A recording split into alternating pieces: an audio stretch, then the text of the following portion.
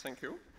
Uh, so, like he said, uh, I'll talk you. I'll talk to you about uh, the pip internals. So I guess you all know pip and use it uh, almost every day. But I guess you don't really know what what he, it really does. At least uh, not uh, not everything. Um, so first, a few disclaimer. pip has only one API. It's not really one, but it's it's command line interface. So everything I'm going to talk to you about is only true for this version of pip and might change in the future. But obviously, we, the, the, internals don't change uh, completely from one version to the others, but um, clearly, uh, you shouldn't rely on the function I'm, I'm about to show you. Uh, and so uh, this talk corresponds to the latest pip version, so 7.1. Uh, I'll present you um, three, three main parts. I guess uh, the one you use the most, uh, corresponding to the installation of packages. So first, how does it resolve dependencies or doesn't? Um, how does it perform an installation? And uh, in the end, how does it select a package? So first, um, how, how, do you tell pip what you want to install? There are um, three, three main ways. So either you directly pass it an argument, like uh, my, my, packages, uh, my package, like Django, or a link to a file, or a path to a directory or a file. You also can install uh, editable package. So it's the dot .e or dot, double dot editable um, option with uh, a path. Uh, this is used in mostly in development to be able to to change a, a package while you uh, to test the packages. And uh, finally, requir requirement files that I think you, you should uh, certainly uh, know the three, these three ways. And there is now a new one since uh, 7.1 called constraint it's a little bit special because uh, what it does is setting uh, constraint, constraint on the package versions, but uh, this won't cause the installation. So you have to ask for, let's say, Django to be installed, and then through the constraint files, you can say what version you want to install.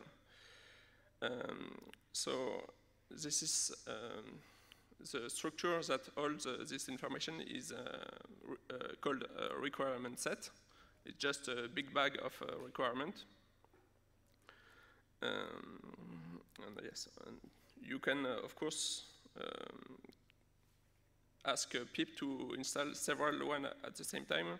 So you can ask for several editable package, uh, also package, give it a requirement or two, and also constraint. You can completely combine uh, as much um, option as you want. Uh, so like I said, the, requirement, the requirement set is just a big bag of uh, requirement. And uh, from the command option, so the, the four one I just you, showed you, uh, pip will call add requirement on all the four items, beginning with constraints. Um, so what does add requirement do? It does a few things. First, it checks for environment markers.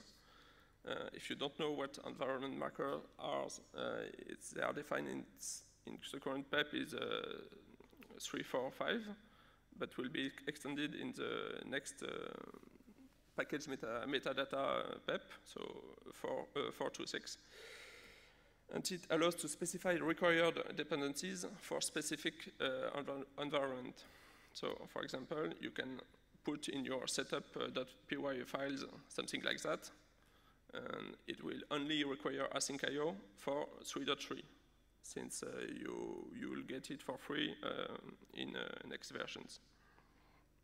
So you can do this kind of things, or even a little bit more complex, so this is an example from the wheel package. And this is a combination of environment markers and extras. So what it says is that uh, if you um, ask it to install uh, wheels with signatures, it will install keyring always, because it's required. And on every platform but Windows, it will also install uh, PyXDG.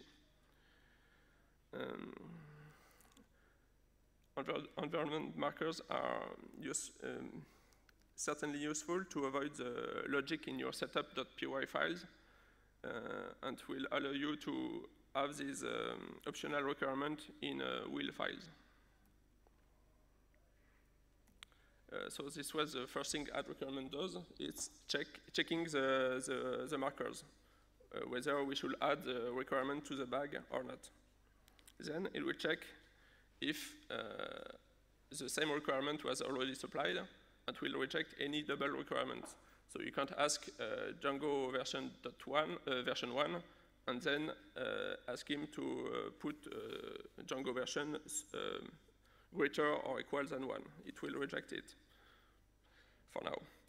Um, except, and this is important, if the previous requirement was a constraint, and then it will always use the constraint version. So if you have something like that, so putting uh, Django 1.8.3 in a constraint file, and then asking pip to install 143, it will use the version specified in the constraint files. Uh, this can be really useful to, um, to force pip to install a custom version or local version with small patches, uh, whatever the packages will ask. And then finally, and this is how currently pip resolve dependencies, if you have already one dependency, uh, one requirement, and another package uh, requires the same package, it will just ignore it. So this is an example. Imagine you have a simple package with an install requirement on a PEP8 one version 1.2, and you ask pip to install simple on PEP8 1.3, what will be called is simple, add requirement simple, then add requirement PEP8 1.3. And when we will resolve dependencies and try to put PEP8 1.2, it will be completely ignored. Um, so now you have a big bag of requirement, and pip calls what uh, the, the, method is prepare files that will, as it says, uh, prepare the files for the installation.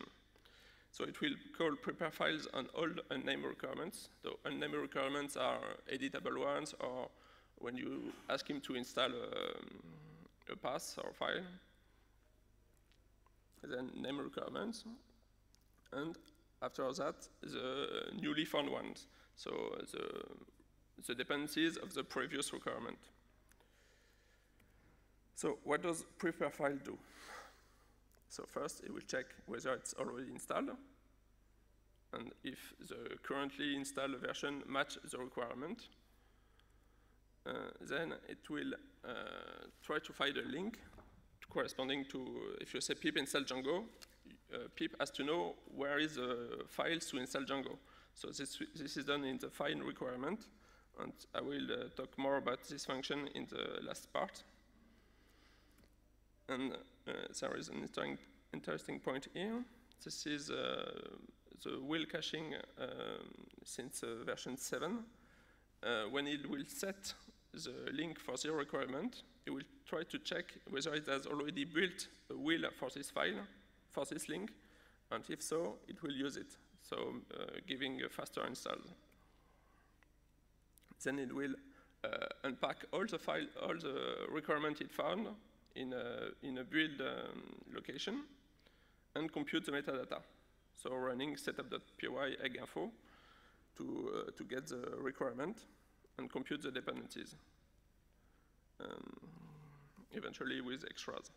And that's the way it detects new dependencies and new requirements and it puts it back in the requirement set. Um, so for instance, if you pip install flake8, it will find the three uh, requirements, PyPy, pyflakes, and McCabe. It will populate links for all, so calling the find requirement for each of these three, uh, three packages. And in the build location, it will uh, unpack the, the four uh, requirement uh, um, asked, so flake8, PEP8, pyflakes, and PineCabe, with either um, setup.py to install with setup tools, or if, the files were wheels, just, uh, just a directory with uh, the metadata. So as I've already said, since PIP 7, uh, you have a new uh, wheel caching option that will work uh, giving two, two things. First, you need to have the wheel package installed in your environment, and then you should not be using um, the load or no cache dir options. Uh, for if you use either of the two, the, the wheel caching won't happen. And then what it will do is the pip has all the, the requirement um, un unpacked in the build location, and it will try for each of them to build the wheel. Obviously, it will ignore um, all um, uh, requirements that are already wheels. It will also ignore editable requirements or um, links pointing to version control system, uh, since there is no re real, um, because it, it, could be subject to changes, and uh, of course, if you want to change, if you change your file, you don't want to use the last wheel you've already built. So well, the thing is, these, these requirements are prone to changes, so you don't want to, to build a wheel for something that will change. And of course, you can uh, opt out of this, uh, of this option with the no binary option, either passing it all, uh, the, the all tag, or the spec specific package. And there are some other special cases, but I won't talk. Um, and then, if the wheel building was successful, it will replace the previous link with the file link to the wheel file and unpack it in the build location. Uh, otherwise, just ignore the, the failure and, and, keep the previous uh, unpacked uh, standard distribution file. So now pip has uh, all the requirements it needs uh, in, a, in a directory, one for each uh, requirement. And there are um, basically three, three possibilities. Either uh, the requirement is a wheel, so it's already unpacked, and the wheels are basically the unpacked uh, package uh, the way it should be installed. So all pip has to do basically is move the directory, all the files in the site, in the site packages directory to be installed. And there are some uh, complexity with scripts and data that I won't talk about. And it will uh, put also a record file to um, ease the uninstallation of the, of the package. So this is for the wheel files, it's quite simple. Then, yes, okay. And of course, for wheel, you just need pip. You don't need any uh, um, additional setup tools. Um, so uh, how does the pip install uh, setup.py files? So it will, it's, it's using uh, some kind of hack to make sure that you always have setup tools, even if your setup.py works with uh, uh, with, uh, with distutils. So this is not exactly the command, but that's the idea. Basically opening a setup.py, compiling it, and executing it with the setup tools uh, available so that uh, setup tools has already uh, monkey patched uh, distutils.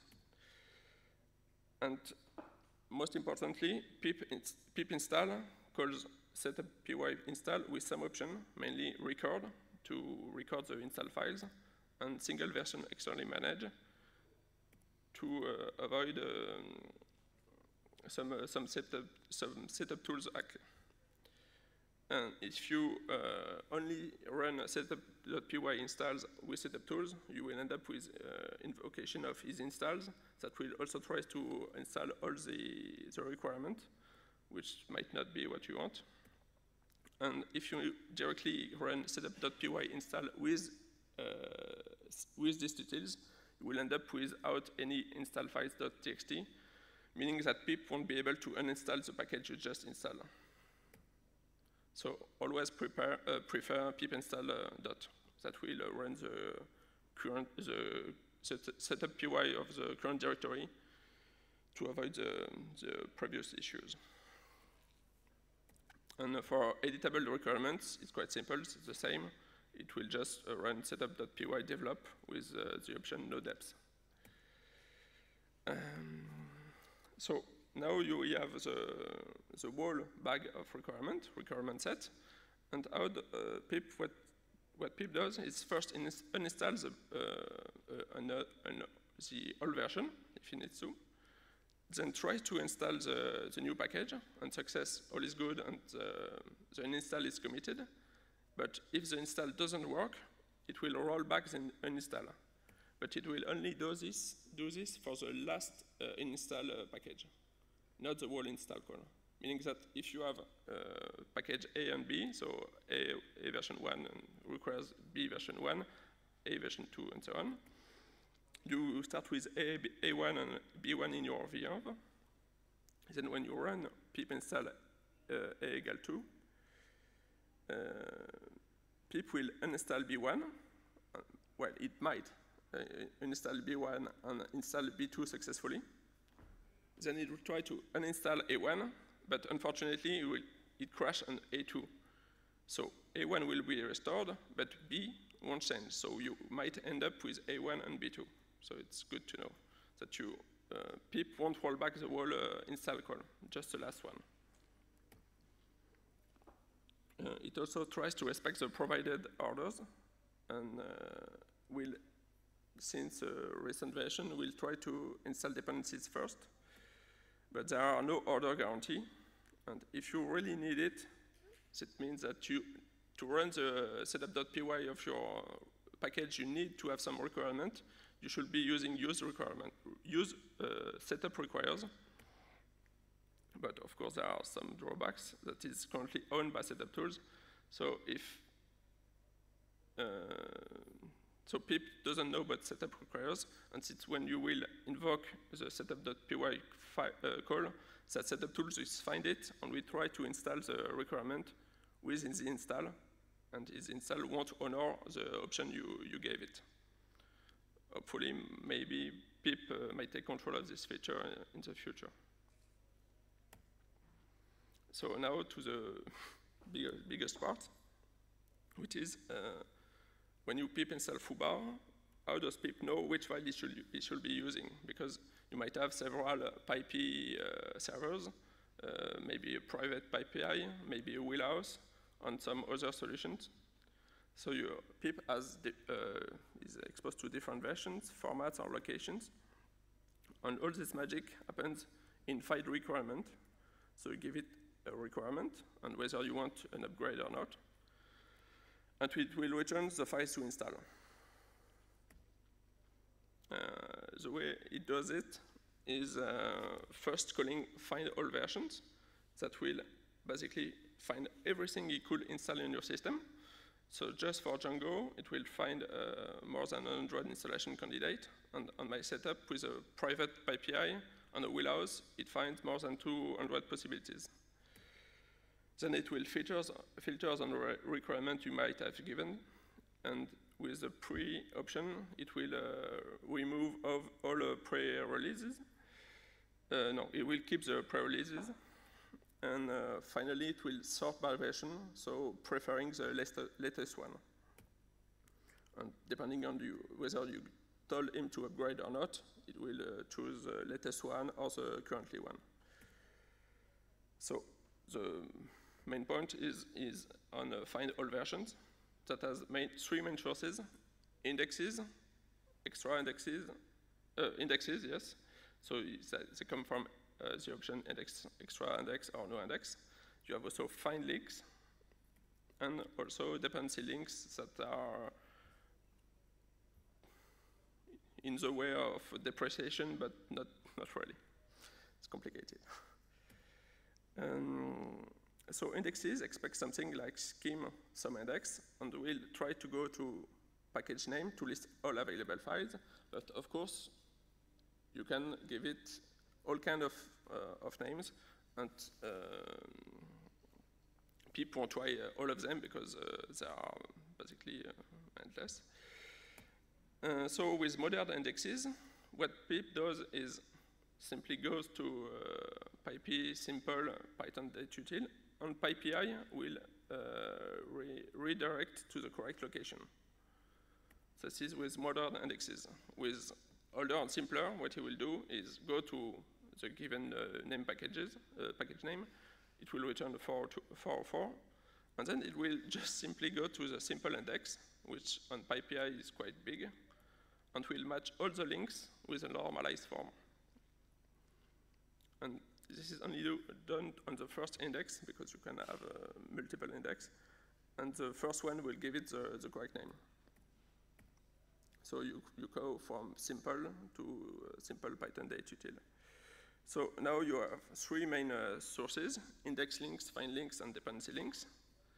They are put in a function called sort location that will return two lists, files location and URL locations.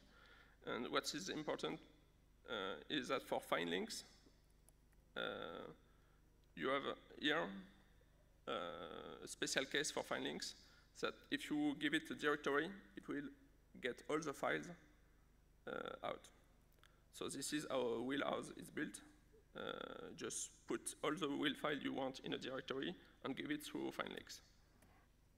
Then to, via, find the find links option, you can also give it direct location and also via dependency links. There is a lot of special cases for URL locations that correspond to the indexes um, that will check whether it's a secure location, and you can add some with a trusted option, uh, trusted host options. And then all these links are parsed as HTML, and uh, pip basically check all the links. There are some special cases for that, so I won't talk about this. Um, and all these links are then put in a big filter called package versions that will push some uh, links uh, at the end and select or reject on lots of criteria. Basically, whether uh, your system supports some the format, remove some some macOS uh, files. This is really a special case I found. Uh, whether you ask him to reject wheels or standard for this package, uh, it will also check the compatibility of the wheel files, try to extract a version from the file name and reject if it doesn't. Uh, check also on the Python version if you, this is uh, something I didn't know. Uh, this, and also check uh, everything about internal or external files. Finally, if you come back here, you see that you have three main sources, files, URL, find links, and dep links. And finally, uh, pip will prefer always file sources, then direct find links, then URL links, and finally dependency links. And uh, this is basically what uh, find all version returns. And uh, this is an example for PEP8. So you will you find all the files uh, from the wheelhouse, then uh, from um, all the files from my private PyPI, and then uh, a normal PyPI. So it contains the package, the version, and the direct link. Thank you. If you have any question.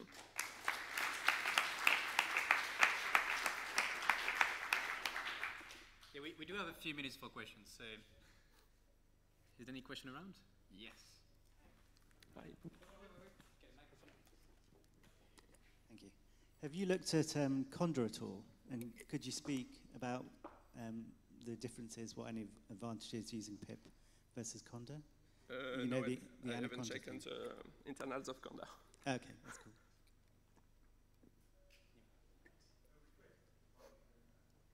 Yeah, but we need to record it. Could you explain what a wheel is, please? What is a wheel? Um, it's a kind of new um, package format, but new, it's already a few years old. and um, what it's it's basically uh, if you if you take a, a standard distribution and you install it in uh, side packages, and then you take the the, the directory uh, pip as install in the in the side packages and you zip it, it's basically a wheel. So uh, a wheel to install it, you just have to unzip it and uh, put the, the directory in, inside packages. So it provides a much faster uh, installs. And uh, yes.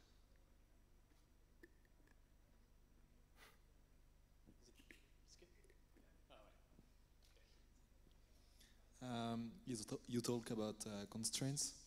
Um, isn't it a bit dangerous to use constraints? Um, well, uh, you, you there is no surprise. Uh, you won't use constraint by accident. So if, if you if you tell pip to install a specific version, it's, it's Yeah. because you mean it. Yeah, but actually, I, I, I don't see um, a real use case where, where you want to uh, override um, I- a I- dependency version.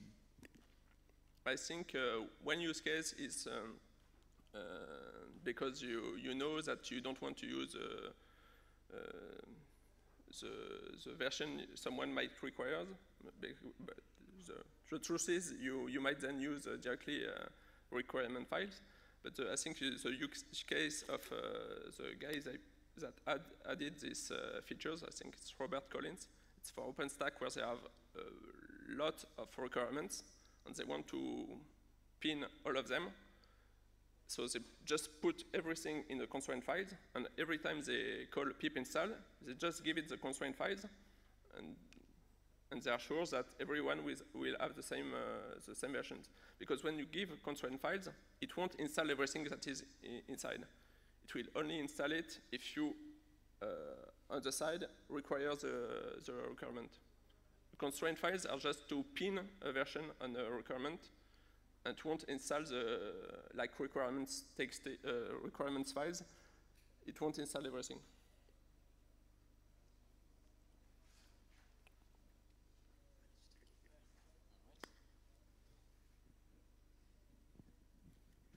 Okay, hi. Um, I have very easy question. Why version versions of your software jump so fast?